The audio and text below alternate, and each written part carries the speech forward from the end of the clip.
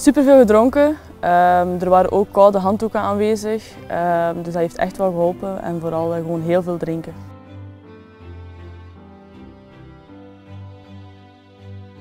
Ik probeer gewoon een beetje muziek te luisteren. Ehm, ik ben vooral in mezelf en ja, ik probeer zo lang mogelijk nog niet aan de wedstrijd te denken, omdat ik dan anders veel meer stress heb. Dus gewoon muziek in mijn oren en uh, toch wel al die focus.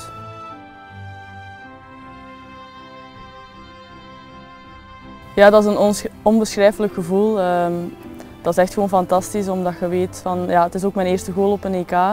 Um, ook gewoon omdat ik weet dat ik mijn ploeg daarmee help. Dus dat is echt een, uh, ja, een gevoel dat je niet kunt beschrijven met woorden. Dat is echt gewoon fantastisch.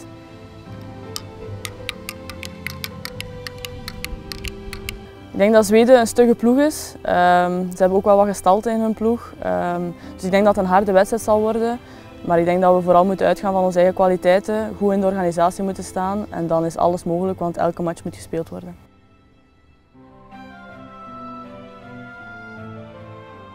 Uh, ik ben begonnen op zevenjarige leeftijd bij KFC Vraasne um, en ik heb daar tot mijn zestiende gespeeld bij de jongens.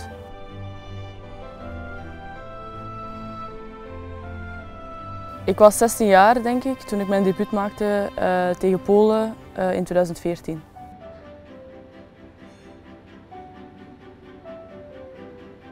Goh, goede vraag. Ik heb uh, ja, Man City, Chelsea, het is sowieso iets in Engeland, omdat ik uh, ooit ook daar wel wil geraken.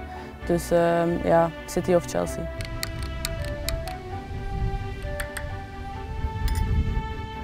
Pannenkoeken. Ik weet niet, ik vind dat gewoon echt super lekker, pannenkoeken. Uh, wafels zijn ook lekker, hè, maar mijn voorkeur gaat toch uit naar pannenkoeken.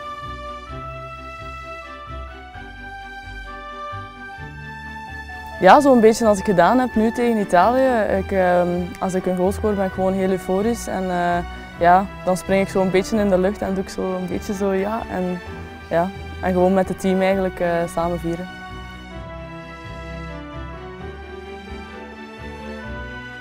Dat is een goede vraag. Ik wil graag wel eens naar de Malediven gaan.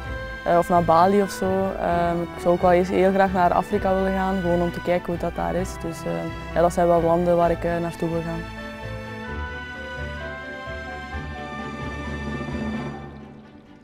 Ja, op dit moment eigenlijk. Ik denk uh, zeker gisteren na de wedstrijd, als dat fluitsignaal afgaat en dat je beseft dat je doorgaat naar de, naar de kwartfinales. Dat was ons doel, daar hebben we zo hard voor gewerkt. Dus daar ben ik wel echt enorm trots op. Maar ik ben ook eigenlijk altijd trots als ik voor uh, mijn land kan spelen. Dus uh, ja, dat is eh, heel leuk.